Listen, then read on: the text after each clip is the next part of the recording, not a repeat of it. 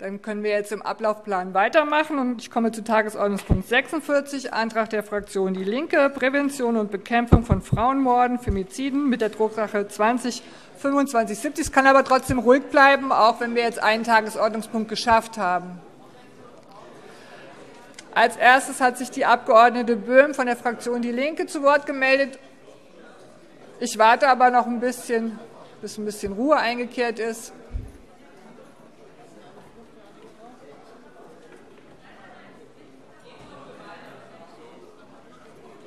Kleinen Augenblick, Frau Böhm.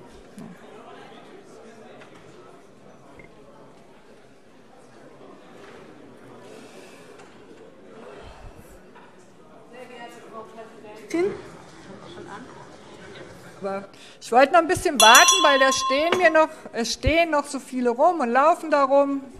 Das soll ja nicht von Ihrer Redezeit abgehen.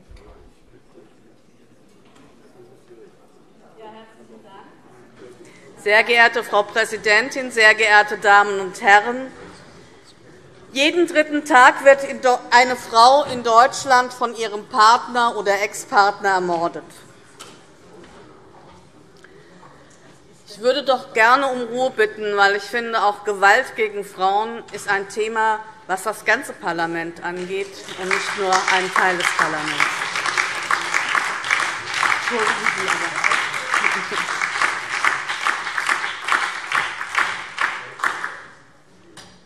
Jeden Tag gibt es mindestens einen solchen Mordversuch. Frauen sterben gerade in Partnerschaften, weil sie Frauen sind. Darum gibt es diesen aus Lateinamerika stammenden Begriff Femizid. Diese Morde sind die traurige Spitze eines Eisbergs. Jede dritte Frau erlebt im Laufe ihres Lebens schon als Mädchen sexualisierte Gewalt, oft schon als Mädchen. Die meisten Gewalttaten und sexuellen Übergriffe bis hin zu Vergewaltigungen erleben Frauen in der eigenen Wohnung. Der angebliche Schutzraum, die eigenen vier Wände, existieren für viele Frauen nicht. Diese Erfahrungen gehen quer durch alle gesellschaftlichen Gruppen. Und diese Zahlen sind auch lange bekannt. Der Umgang damit zeigt mangelndes gesellschaftliches Bewusstsein für die Situation von Frauen, Mädchen, aber auch von trans- und intergeschlechtlichen Personen, die ähnliche Leidenserfahrungen machen. Häusliche Gewalt bleibt eines der bedeutendsten Dunkelfelder in der Kriminalstatistik. mit dem heutigen Setzpunkt fordern wir die Landesregierung auf, das Thema wirklich ernst zu nehmen und ihren Beitrag dazu zu leisten, dass Frauen nicht weiter Gewalt angetan wird.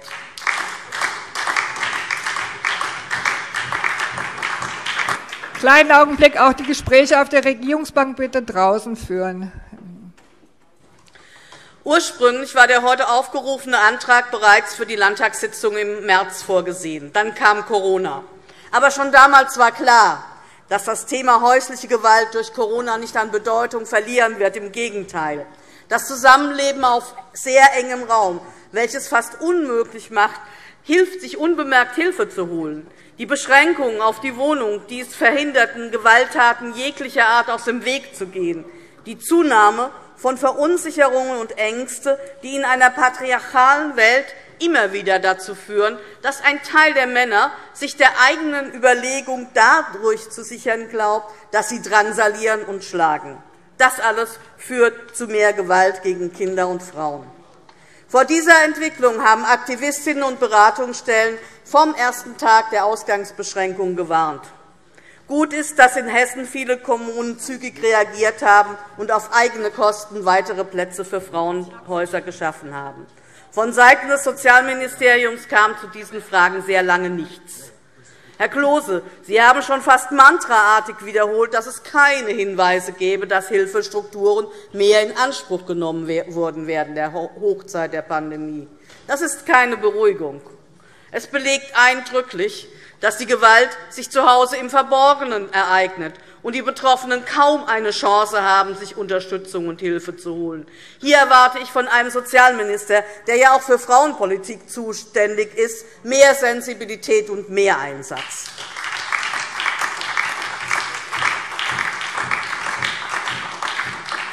Inzwischen haben wir eine erste Studie der TU München vorliegen, die die Erfahrungen von Frauen mit häuslicher Gewalt in der Pandemiezeit dokumentiert. An der repräsentativen Befragung haben sich 3.800 Frauen zwischen 18 und 65 Jahren beteiligt. Und die Zahlen schockieren.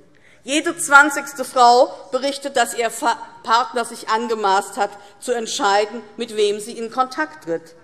3,1% geben an, dass sie mindestens eine körperliche Auseinandersetzung erleben mussten, und 3,6% der Frauen berichten von erzwungenem Geschlechtsverkehr durch den eigenen Partner. Wenn wir das hochrechnen, bedeutet es für Hessen 70.000 von Vergewaltigung betroffene Frauen, und das nur im partnerschaftlichen Kontext. Da haben wir noch keine Mädchen und jungen Frauen unter 18 Jahren dabei, keine Senioren, und das alles nur in einem Monat der Pandemie. Das sollte aufhorchen lassen.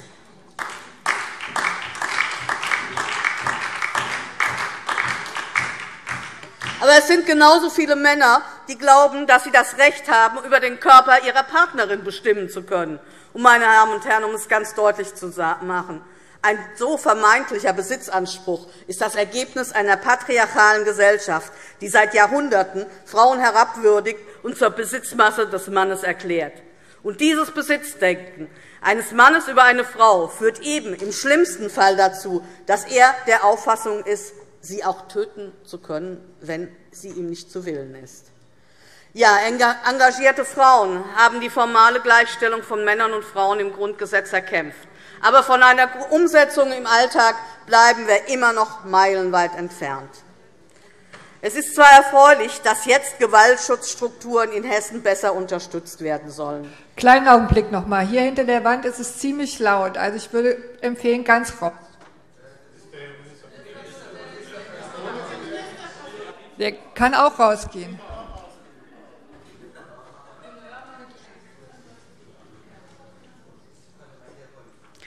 Es ist zwar erfreulich, dass jetzt Gewaltschutzstrukturen in Hessen besser unterstützt werden sollen. Die 3 Millionen € reichen aber nicht, um wirklich entscheidend voranzukommen. Es reicht nicht, um Hessens Verpflichtungen aus der Istanbul-Konvention zu erfüllen. Wir hatten bereits für den diesjährigen Haushalt 15 Millionen € angemeldet die Istanbul-Konvention, das Übereinkommen des Europarats zur Verhütung und Bekämpfung von Gewalt gegen Frauen und häuslicher Gewalt, ist seit 1. Februar 2018 rechtsverbindlich in Deutschland umzusetzen. Aber wo ist denn das Konzept der Landesregierung, das uns Anfang letzten Jahres versprochen worden ist? Aktuell wird der Umsetzungsbericht für Deutschland vorbereitet. Ich erwarte ein weitgehend niederschmetterndes Ergebnis, weil viele Maßnahmen aus dieser Konvention noch nicht einmal ansatzweise umgesetzt worden sind, in Hessen genauso wenig. Warum ist es in Deutschland beispielsweise noch immer üblich, dass bei Morden durch Partner oder Ex-Partner der Beziehungsstatus strafmildernd eingestuft wird? Warum kann die Bundesregierung noch immer nicht sagen, wie viele Femizide es in Deutschland gibt? Warum gibt es in Hessen noch immer keine Koordinierungsstelle zur Umsetzung der Istanbul-Konvention, obwohl sich das zwingend ergibt?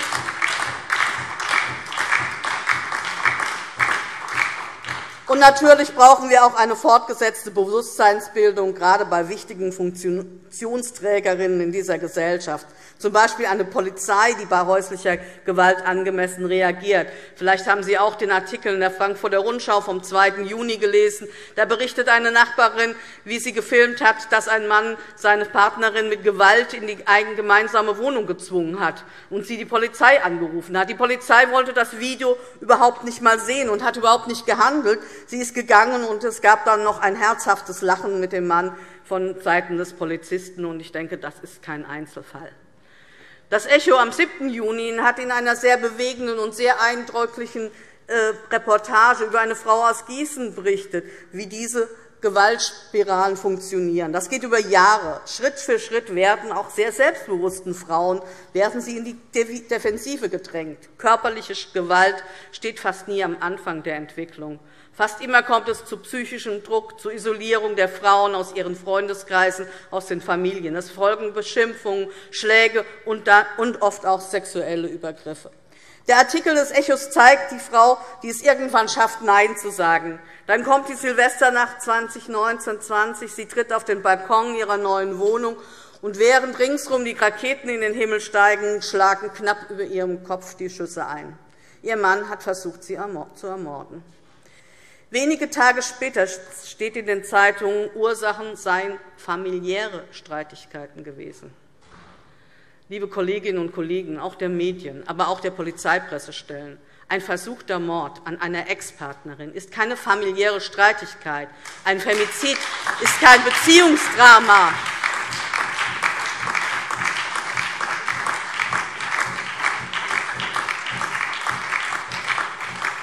Es ist es ist ein klarer Mord. Wir brauchen eine klare Sprache, die die Dinge beim Namen nennt und nicht beschönigt. Und neben, neben diesem gesteigerten Bewusstsein brauchen wir auch viel mehr Präventionsarbeit. Das Präventionsarbeit, die in erster Linie die Frauen stärkt, das Thema auch zu enttabuisieren. Wir brauchen starke Netzwerke für Frauen. Wir brauchen auch Hilfe für Täter. Wir brauchen eine Verbesserung, eine Verstärkung der hessischen Beratungsangebote, damit auch die Männer zu den passenden Einrichtungen finden. Und wir müssen zu den Themen der Istanbul-Konvention in den relevanten Bereichen der Judikative und Exekutive zwingende Fortbildungen veranstalten. Öffentlichkeitskampagnen, Infrastruktur kostet ohne Frage Geld, auch die dringend erforderliche Verdopplung von Frauenhausplätzen in Hessen. Aber nur so können wir Leben retten. 2019 wurden in Hessen nach der Erhebung von One Billion Rising 17 Frauen Opfer eines Femizids. Frau Abg. Böhm, auch wenn Sie nun wieder laut war, müssen Sie jetzt zum Schluss kommen. Danke.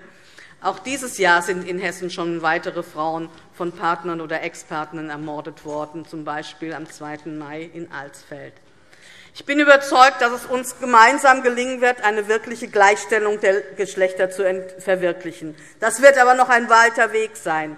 Aber am Ende muss die Frage stellen, stehen, muss auf die Frage, wie viele Femizide gab es im vergangenen Jahr, mit einer klaren Botschaft geantwortet werden können keine mehr. Danke schön. Vielen Dank, Frau Abg. Böhm. Als nächstes hat sich die Abg. Gersbeck von der SPD-Fraktion zu Wort gemeldet.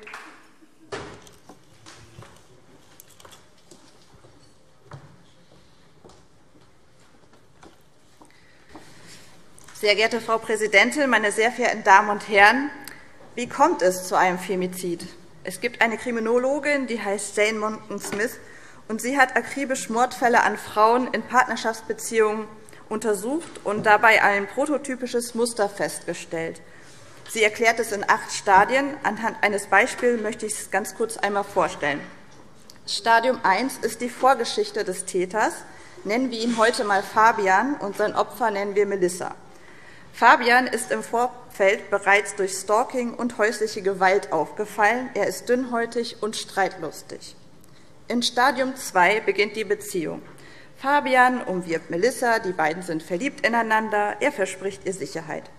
Es kommt aber auch schon zu früher Eifersucht und Sprüchen in der Beziehung wie Du gehörst mir und wir werden für immer zusammen sein. In Stadium 3 reagiert Fabian immer eifersüchtiger auf andere Menschen in Melissas Umgebung. Er nimmt ihr das Handy ab und zwingt sie, nur noch mit ihm zusammen zu sein. Es kommt zur ersten Gewalthandlung, er schubst und bedrängt sie. Verlässt sie die Wohnung, stockt er sie und versucht, sie zunehmend von ihrer Familie und Freunden zu isolieren. Im vierten Stadium versteckt Melissa ihr Handy und untersagt Fabian, ihr nachzuspionieren. Fabian unterstellt Melissa Untreue und beginnt Rachegelüste gegen sie zu entwickeln. In Stadium 5 kommt es zur Eskalation. Fabian versucht, die Kontrolle über Melissa wiederherzustellen. Er bittet, er weint, er droht mit Gewalt. Er sagt Dinge wie, wenn du mich verlässt, bringe ich mich um oder wenn ich dich nicht haben kann, soll dich niemand haben. Stadium 6. Melissa ist nicht mehr in der Lage, auf die Drohung von Fabian überhaupt zu reagieren. Sie möchte ihn verlassen und teilt es ihm mit. Fabian fühlt sich ungerecht behandelt und denkt an Rache. Er hat die ersten Mordgedanken. Stadium 7. Fabian sucht im Internet nach Mordarten und Waffen. Er versucht, Melissa komplett von der Außenwelt abzuschirmen. Stadium 8. Fabian erschießt Melissa mit einer illegal erworbenen Waffe in ihrem gemeinsamen Wohnzimmer. Gegenüber der Polizei spricht er von einem Streit und behauptet, aus Notwehr gehandelt zu haben.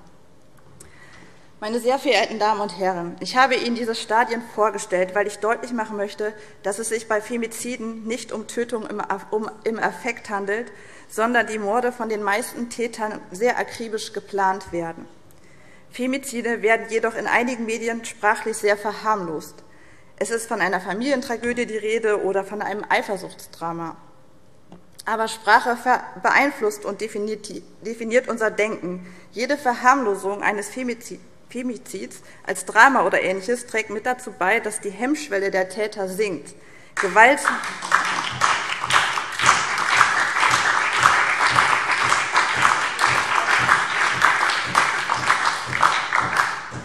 Gewalt gegen Frauen wird in die Nähe eines Kavaliersdelikts gerückt oder Frauen indirekt sogar eine Mitschuld zugesprochen. Die Zurückweisung einer Frau ist nicht das Motiv eines Femizids. Die Täter denken, sie könnten die Frau besitzen und sind von starkem Frauenhass geprägt. Meine sehr verehrten Damen und Herren, laut der Kriminalstatistik des BKA versucht allein in Deutschland jeden Tag ein Mann seine Partnerin oder Ex-Partnerin zu töten, und jeden dritten Tag gelingt es einem auch. 2018 wurden 122 Frauen von ihren Partnern oder Ex-Partnern ermordet. Das ist eine viel zu hohe Zahl für ein Land, in dem die Gleichberechtigung der Geschlechter im Grundgesetz steht.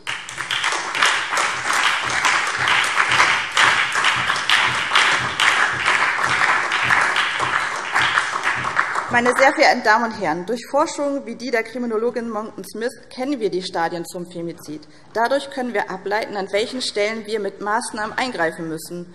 Und auch gesellschaftliche Rahmenbedingungen müssen, müssen sich strukturell so verändern, dass Frauen nicht mehr zu Opfern werden können.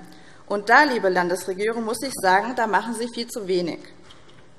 Was kann, was muss das Land konkret unternehmen? Wie können wir Politikerinnen und Politiker selbst auch in unseren Wahlkreisen helfen? Erstens. Liebe schwarz-grüne Koalition, wir haben Sie wiederholt dazu aufgefordert, Hessens Frauenhäuser finanziell besser auszustatten.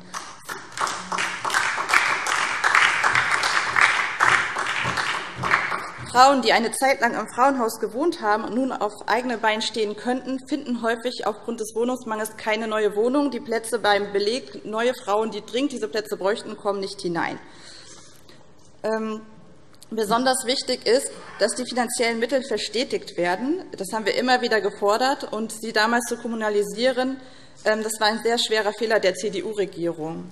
Die Mitarbeiterinnen und Mitarbeiter dieser Frauenhäuser haben Wichtigeres zu tun, als ihre Arbeitszeit mit der Spendenakquise zu verbringen oder ähm, Förderanträge zu schreiben. Sie müssen Frauen wie Melissa aus Notsituationen befreien und sie in ein neues gewaltfreies Leben führen. Und das ist ihre Aufgabe und nichts anderes.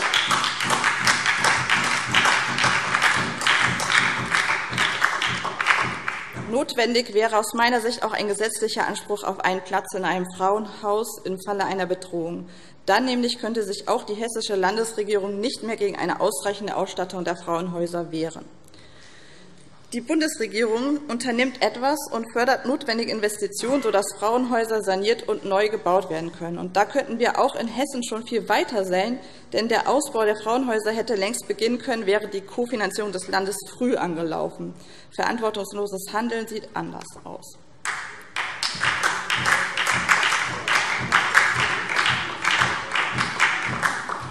Das hessische Innenministerium muss ich hier auch ansprechen, denn Sie sollten ein Augenmerk auf das Thema Stalking lenken, und zwar in sehr intensiverem Maße als bisher.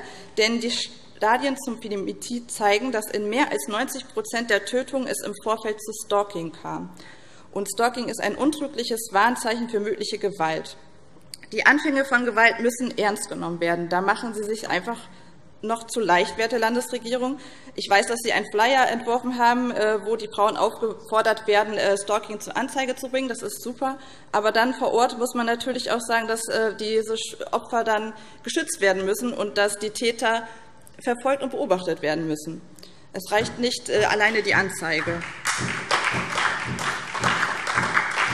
Und ja, dafür bedarf es auch einer besseren Ausstattung der Polizei vor Ort. Wir brauchen auch mehr Projekte im Bereich der Jugend- und Schulsozialarbeit. Wir haben in Offenbach ein ganz tolles Projekt, das heißt Heroes Offenbach. Das wird auch vom Land gefördert. Vielen Dank. Ähm, hier werden junge Männer ähm, zu sogenannten Helden ausgebildet.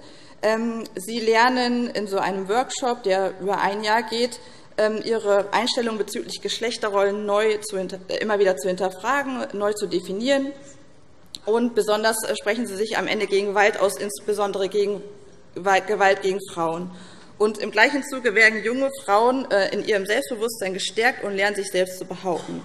Und später gehen diese Heldinnen und Helden selbst an Schulen und teilen ihr Wissen mit anderen Jugendlichen und Kindern mit. Und ich finde, solche Projekte, also diese ähm, Heroes, werden über ganz Hessen sehr verstärkt angefragt und sie können sich vor Angeboten kaum noch äh, retten. Die müsste es eigentlich flächendeckend in Hessen geben, denn ich glaube, da kann schon in sehr jungen Jahren sehr viel äh, Gutes passieren mit diesem.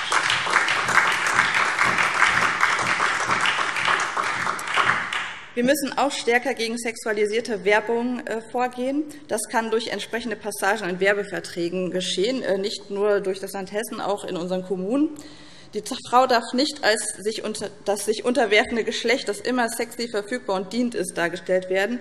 Ähm, denn immer wieder solche Bilder zu sehen, beeinflusst Kinder, Jugendliche, aber auch Männer und Frauen, werden auch häufig unterbewusst. Zu diesem Thema habe ich jetzt persönlich von der Landesregierung auch noch gar nichts gehört. Das würde ich mir wünschen. Wir können als Landtagsabgeordnete neben den sehr bekannten Hilfsangeboten wie Hilfetelefon der Bundesregierung selber ähm, auch noch einmal auf das Projekt Maske 19 aufmerksam machen. Das gibt es ähm, seit der Corona-Krise. Und zwar kann man in Verkaufsgesprächen in Apotheken das Codewort äh, Maske 19 sagen. Und dann äh, sind die Apotheker aufgefordert, die Behörden zu informieren und zu helfen. Das ist besonders dann wichtig, wenn, wie gerade in unserem Beispiel, der Mann nicht mehr von der Seite der Frau äh, weicht und äh, kein Handy mehr da ist und so weiter und sie um Hilfe äh, bitten müssen. Meine sehr verehrten Damen und Herren, es ist an der Zeit, dass den hohen Zahlen von Femiziden in Deutschland mit konkreten Maßnahmen der Kampf angesagt wird. Es bedarf struktureller und gesellschaftlicher Veränderungen, damit die Gewaltspirale durchbrochen wird. Es muss sich etwas in den Köpfen verändern. Doch gerade hier sehe ich momentan die größte Gefahr, wenn ich mir erstens den Rückschritt in Sachen Gleichberechtigung durch Corona ansehe, zweitens, wenn ich sehe, dass die häusliche Gewalt zunimmt und drittens rechtspopulistische Parteien die Gleichberechtigung ganz grundsätzlich in Frage stellen. Dem allen können wir nur gemeinsam begegnen. Wir müssen Frauen wie Melissa retten. Wir stimmen dem Antrag der LINKEN zu. Vielen Dank.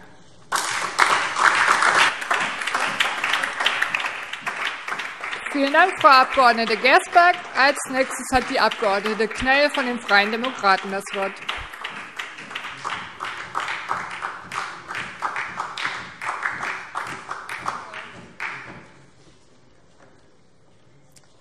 Sehr geehrte Frau Präsidentin, liebe Kolleginnen und Kollegen! Viele verbinden mit dem Begriff Femizid das Entführen, Verstümmeln und Ermorden von Frauen. Viele gehen davon aus, dass das ein Problem ist, was es vielleicht nur in Lateinamerika gibt. Dort ist das Problem definitiv größer als bei uns, ähm, jedenfalls wenn man sich an den Fallzahlen orientiert. Aber eben auch bei uns gibt es Tötungen an Frauen, die sogenannten Femizide. Und Kollegin Böhm hat ja dazu auch schon Zahlen genannt. Fakt ist, wenn in Deutschland alle zweieinhalb Tage eine Frau Opfer eines Tötungsdelikts wird durch ihren Partner oder Ex-Partner, dann sind das ungefähr 150 Opfer im Jahr zu viel.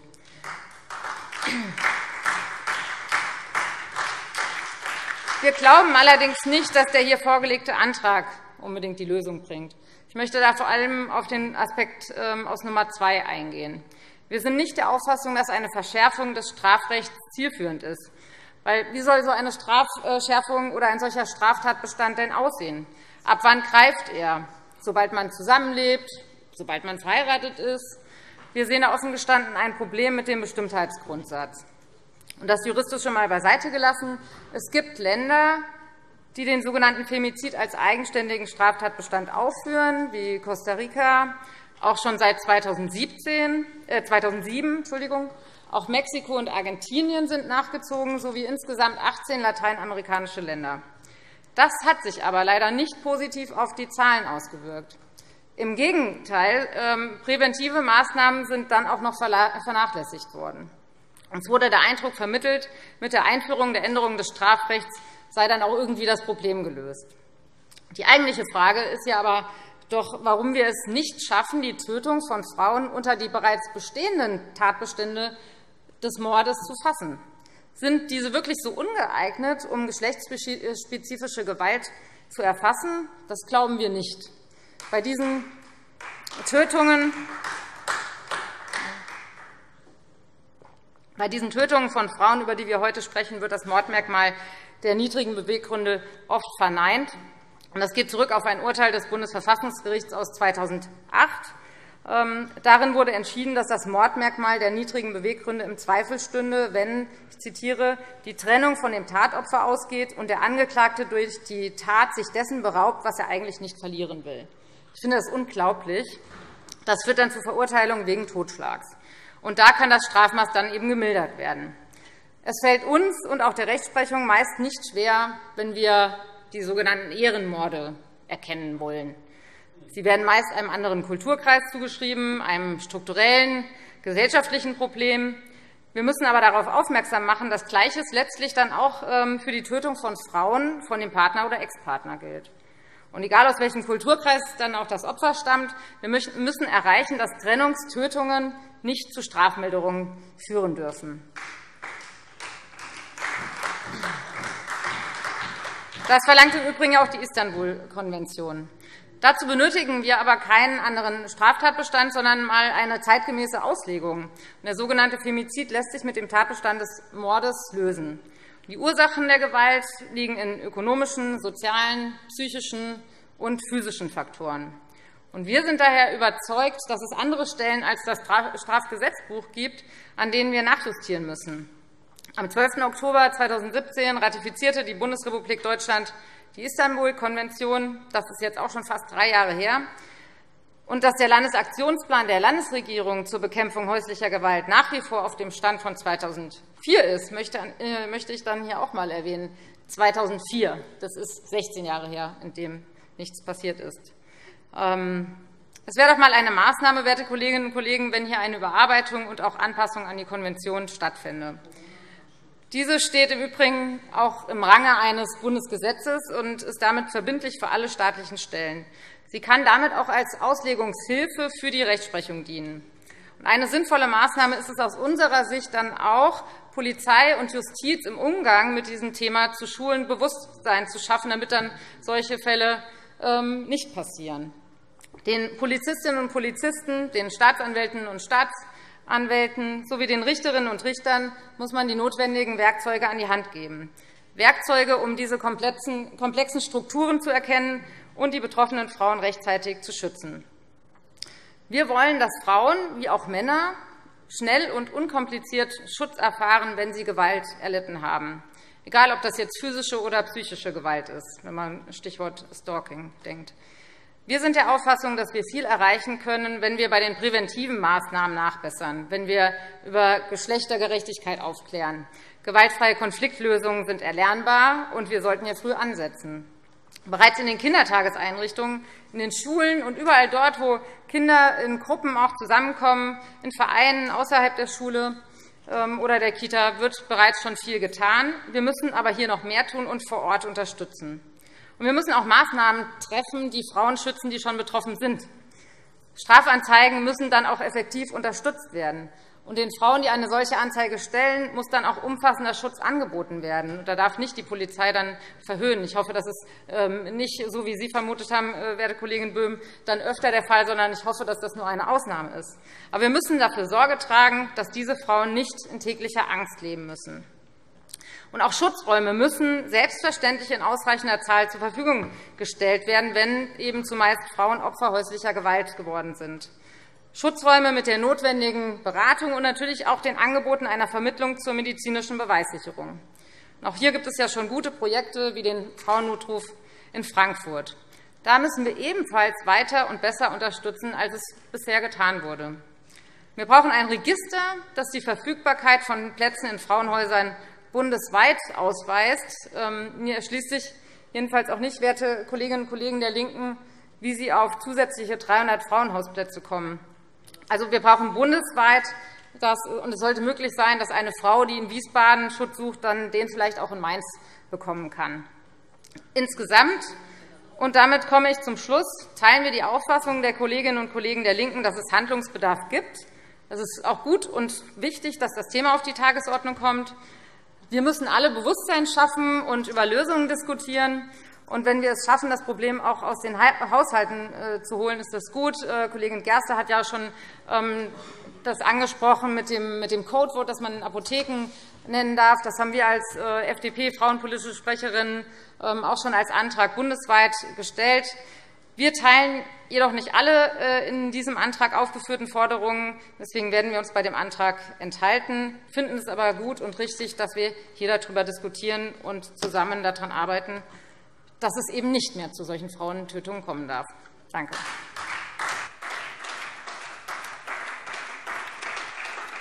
Vielen Dank, Frau Abg. Knell. Als nächstes hat der Abg. Schad von der CDU-Fraktion das Wort.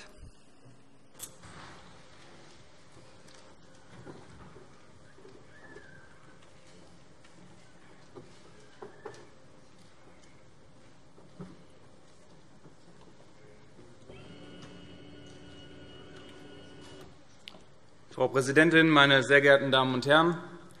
Sie, 23 Jahre alt, teilt ihm mit, sie wolle ihn verlassen. Er gibt bei gutefrage.de ein, wie lang kommt man beim Mord ins Gefängnis, dann erschlägt er sie mit der Axt, zündet die gemeinsame Wohnung an. Sie hatte die Trennung schon ausgesprochen, da taucht er überraschend in der ehemals gemeinsam bewohnten Wohnung auf. Er prügelt auf sie ein, tritt sie, greift sich einen Hammer und einen Haken. 20 Minuten lang dauert der Angriff. Die drei kleinen Kinder müssen es mit ansehen. Sie wurde 33 Jahre alt. Sie haben drei Kinder, sieben und fünf Jahre alt sowie sieben Monate. Sie streiten öfter. Er wirft ihr vor, sie zeige dem ältesten Sohn und ihm zu wenig Respekt. Bei einem Spaziergang an einem Ententeich durchtrennt er ihre Halsschlagader. Ihre Leiche wirft er in einen Teich, beschwert sie mit Netzen und Steinen. Liebe Kolleginnen und Kollegen, es ist bereits angeklungen, durchschnittlich stirbt in Deutschland alle zwei bis drei Tage eine Frau brutal durch die Hand eines Mannes, zumeist des Partners bzw. des Ex-Partners. Diese Frauen werden erschossen, erstochen, erstickt, angezündet, erwürgt und totgeprügelt, und das meist für sie am gefährlichsten Ort, die Kollegin Böhm hat es gesagt, dem eigenen Zuhause. Hinter jedem dieser Taten stecken schlimmste Schicksale, und es schaudert einen, darüber nachzudenken, wie es den Frauen und auch den Kindern gegangen ist. Wut, Zorn, Rachegefühle, Eifersucht, diese Emotionen sind dem Menschen immanent. Sie gehören zu ihm. Aber, liebe Kolleginnen und Kollegen, ein Gradmesser für den Zivilisationsgrad unserer Gesellschaft ist es, wie es gelingt, einen Rahmen zu schaffen, in dem diese Eigenschaften klein gehalten werden.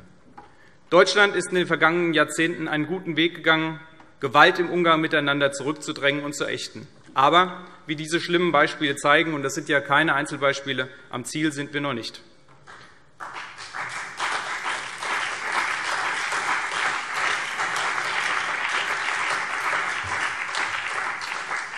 Ich bin nicht so naiv zu glauben, man könne eine völlig gewaltfreie Gesellschaft erreichen und häusliche Gewalt mit Mord und Totschlag als deren trauriger Gipfel für immer komplett ausschalten. Aber es muss unser Anspruch sein, alles dafür zu tun, häusliche Gewalt zurückzudrängen und zu verringern. Dazu gehört, dass in der Öffentlichkeit über das Thema gesprochen wird. Da sind wir uns ja auch ähm, fraktionsübergreifend einig. Deswegen ist auch die Debatte heute wichtig. Und dazu gehört, dass wir eine klare Sprache sprechen und dass wir klarmachen, kein Mann hat das Recht zu glauben, sich über eine Frau zu stellen, nicht in Hessen, nicht in Deutschland, nirgendwo.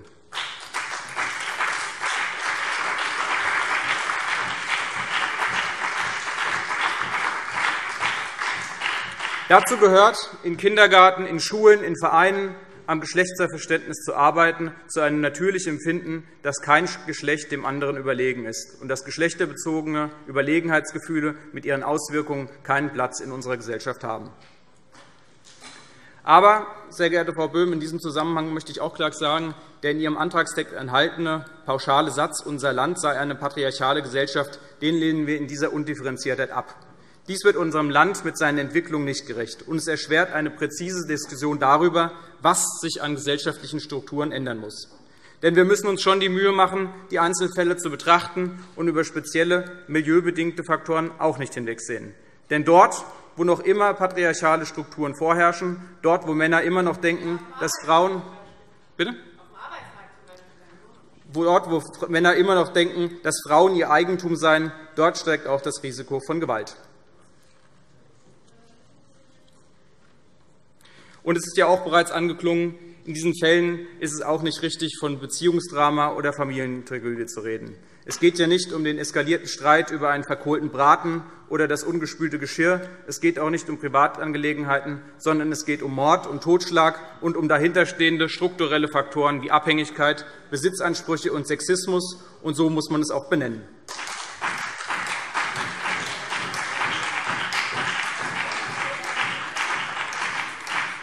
Liebe Kolleginnen und Kollegen, es ist gut und richtig, dass sich das Land Hessen auf breiter Front gegen Frauenmorde und häusliche Gewalt im Allgemeinen stark macht. Das Maß an Ausdifferenziertheit und Tiefe zeigt, dass sich Hessen, aber auch der Bund und die Kommunen schon lange und auch intensiv mit diesen Themen beschäftigen. Und darüber bin ich froh. Beispielhaft will ich einige Maßnahmen aufzählen, die bereits umgesetzt wurden, um insbesondere Frauen vor geschlechterspezifischer Gewalt zu schützen. Wir wissen, Frauen sind wesentlich häufiger als Männer von Gewalttaten durch Ex-Partner bzw. Partner betroffen. Um häusliche Gewalt besser und gezielter bekämpfen zu können, brauchen wir eine saubere statistische Erfassung. Das Landeskriminalamt nimmt deshalb im Bereich der häuslichen Gewalt bereits eine sehr detaillierte Aufschlüsselung nach Täter-Opfer-Beziehung vor. Dann braucht es Prävention und Intervention als wichtigsten Baustein, um häusliche Gewalt zu vermeiden. Hessen hat das Thema häusliche Gewalt deshalb in die polizeiliche Ausbildung integriert, bieten Fortbildungen und interne Schulungen zur Information und Sensibilisierung der Beamtinnen und Beamten an. diese können dann im Einzelfall vor Ort die Betroffenen auf vorhandene Hilfsangebote hinweisen. Und die Statistik zeigt, die Hilfsangebote, die insbesondere für Frauen zur Verfügung stehen, werden angenommen. Im Jahre 2013 hat der Bund beispielsweise das Hilfetelefon Gewalt gegen Frauen eingeführt.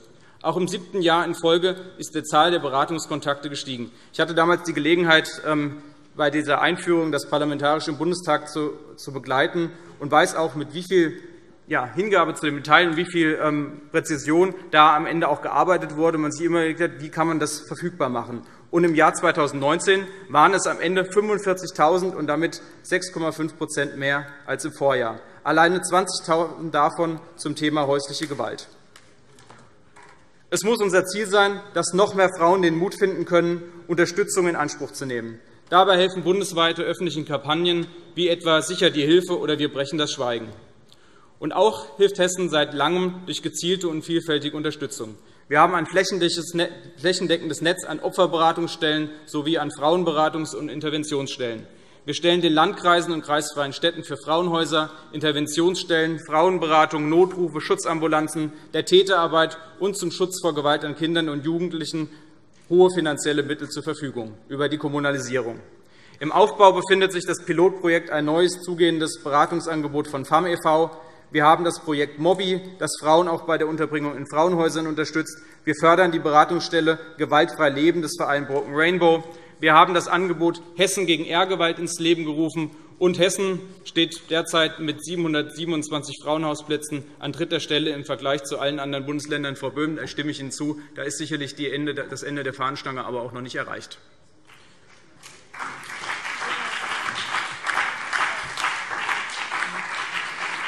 Deshalb, um noch mehr Frauen Schutz geben zu können, stehen in den Jahren 2020 bis 2023 jährlich 2,1 Millionen € aus dem Bundesförderprogramm Gemeinsam gegen Gewalt an Frauen für den Aus- und Umbau von Frauenhäusern und Fachberatungsstellen zur Verfügung.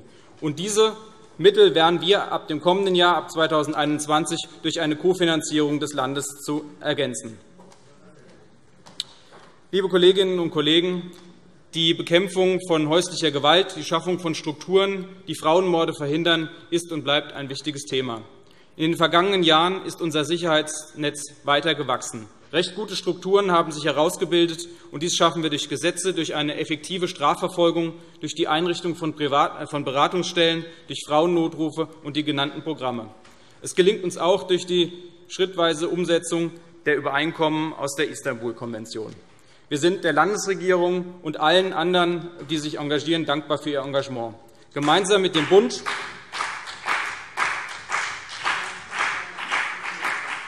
Gemeinsam mit dem Bund und den Kommunen müssen wir diesen Weg weitergehen.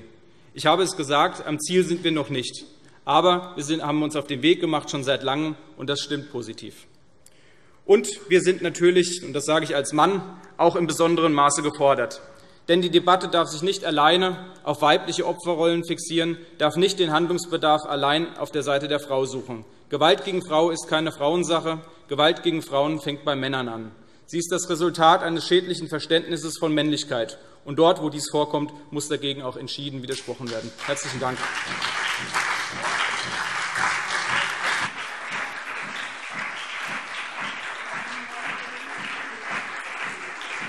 Vielen Dank, Herr Abg. Schad.